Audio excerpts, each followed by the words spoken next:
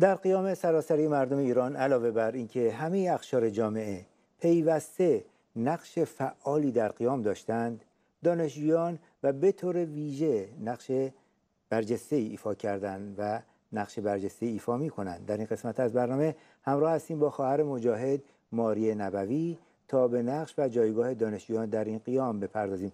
سلام می‌کنم به شما خواهر ماری. خیلی خوش اومدیم به برنامه ایران به پا میخیزد. با تشکر ممنون از فرصتی که به من داده شد. منم در شروع می‌خواستم سلام کنم به همه هموطنان عزیزم به جوانهای شورشی به زنان و دختران شجاع و بیباک به دانشجویان و به خصوص به کانونهای شورشی مقاوم.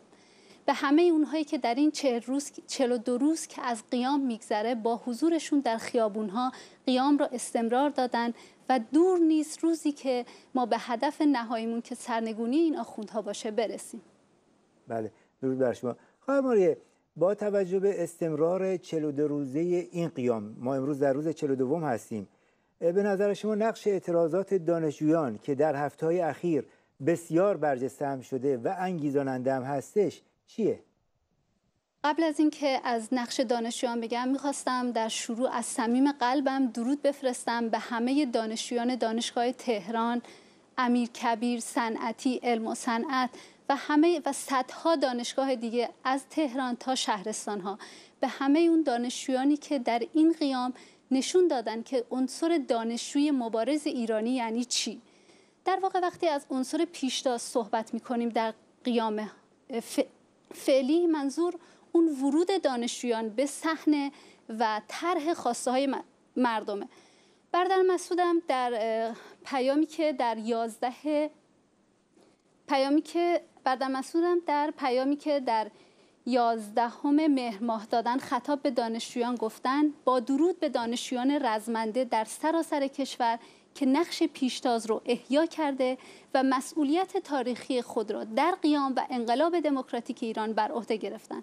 در واقع این پیام برادر بهتر از هر چیزی نقش این دانشجویان رو نشون میده. بله. بله شما نکات خودتون گفت و اشاره کردیم به طور خاص به پیامی که در 11 مهر از طرف رهبر مقاومت ایراد شده در اهمیت حرکت دانشجویان مطرح کردیم و خواسته های اونا. ولی اینجا می‌خواستم از شما خواهش کنم به ما بگیم وقتی میگیم طرح خواسته ها این خواسته ها منظور چیه؟ وقتی از طرح خواسته ها صحبت می‌کنیم منظور شعارهایی هست که دانشجو از لحظه ورود به صحنه دادن. شعارهایی مثل مرگ بر ستمگر چه شاه باشه چه رهبر. شعاری که در واقع مرزبندی تاریخی دانشگاه رو با شیخ و شاه نشون میده. یا شعارهایی مثل امسال سال خونه سیدلی سرنگونه این همه سال جنایت مرگ بر این ولایت. در واقع این شعارها نشون میده که هدف دانشجویا سرنگونی دانشجویان سرنگونی تمامیت این رژیمه و هیچ خواسته غیر این نیست. یا شعارهای مثل چه با هجاب چه بی هجاب پیش به سوی انقلاب از زاهدان تا تهران جانم فدای ایران. یا حتی خوب اشاره کنیم به قیام سال 96 شعار اصلاح طلب اصولگرا دیگه تموم ماجرا. این شعاری بود که اولین بار توسط دانشجو نشون داد که در دانشجو داده شد و در واقع انعکاس جامعه ایران بود. نشون می‌داد که مردم به هیچ کدوم از جناهای داخل حکومت دل نبستن و خواسته جز سرنگونی این آخوندها ندارن.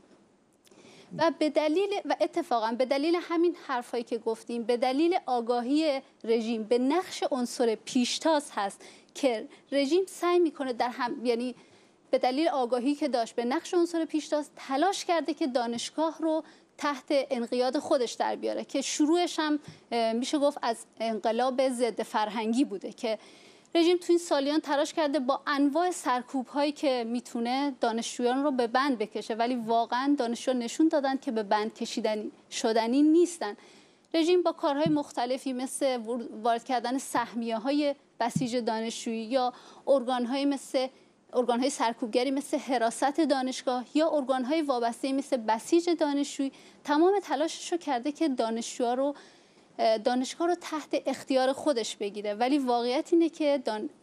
رژیم سرش به سنگ خورده و نتونسته موفق بشه در ادامه برادر مسعود در یک پیام دیگهشون در 11 مهر گفتن روزگار خاموشی پس از آن کودتای سیاه ضد فرهنگی در دانشگاه ها به پایان رسیده و اکنون دانشگاه به یک کانون شعلهور شورش و انقلاب تبدیل شده است.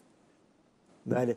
بله شما الان باز هم نکاتی رو اشاره کردین در رابطه با همین خواسته ها و اهمیت اون و آنچه که در پسش نهفته است. شما خودتونم سالها فکر کنم دانشجوی همین دانشگاه تهران بودین بله. هم لیسانستون هم کارشناسی ارشدتون رو گرفتین. فکر کنم کاملا به روز باشید در رابطه با فضا فضایی که وجود داره و خواستهایی که هستش و آنچه که دانشجویان میگند به نظرم براتون بسیار آشنا هستش یه خواهش هم داشتم می‌خواستم اینم از شما بپرسم که در روزهای گذشته در چندین مورد مشاهده شده که دانشجویان محیط دانشگاه رو ترک کردند و به مردم در خیابونها پیوستند به نظر شما اهمیت این موضوع در چی هستش؟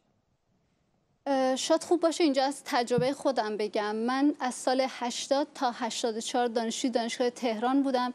شاید بشه گفت که تو همین چهار سال تقریبا تو همه اعتراضاتی که توی دانشگاه تهران بوده و چه اعتراضاتی که در سایر دانشگاهی که تو, تو تهران بوده مثل دانشگاه ملی، دانشگاه امیرکبیر و همچنین مجموعه اعتراضاتی که توی کوی دانشگاه تهران بوده شرکت داشتم یکی از کارهایی که ثابت رژیم انجام می‌داده به محض اینکه اعتراضی تو دانشگاه شکل می گرفته اولین کاری که می‌کردن درپای دانشگاه رو قفل می‌کردن و اتوبوس های شرکت واحد رو جلوی درب ورودی دانشگاه میچیدن که دانشجوها نتونن از دانشگاه خارج بشن و به مردم بپیوندن. و این دقیقا همین کاری است که الان این روز این روزها تو خبرها داریم می‌بینیم. نمونه هاش تا جایی که می‌دونم در دانشگاه تهران و دانشگاه صنعتی شریف دیده شده. و این هم دقیقا به دلیل ترس رژیم از تاثیرگذاری عنصر پیشتازه. و برای همین و با اشراف به اینکه ما می‌دونیم چقدر رژیم از دانشگاه میترسه ما باید عکس خواست این خواسته رژیم عمل کنیم. چون هممون می‌تونیم این سوال از خودمون بپرسیم که چنین اعتراضات رادیکالی با این شعارهای رادیکال اگر در محیط بسته دانشگاه باشه تأثیری بیشتری داره یا اینکه بیاد بیرون و در پیوند با مردم. قطعا که در بیرون از دانشگاه و در پیوند با مردم قیام ایران اوج دیگه خواهد گرفت. بله. بسیار سپاسگزارم از اینکه در این گفتگو ما را همراهی کردیم و از این طریق صدا خاص و ندای اون دانشجویان رو که ما همین روزها داریم صداشون رو فریادشون رو میشنویم و شاهد هستیم به در از این طریق این تریبون به گوش همه رسونید سپاسگزارم از شما. ممنون از شما. مرسی از فرصتی که به من داده شد.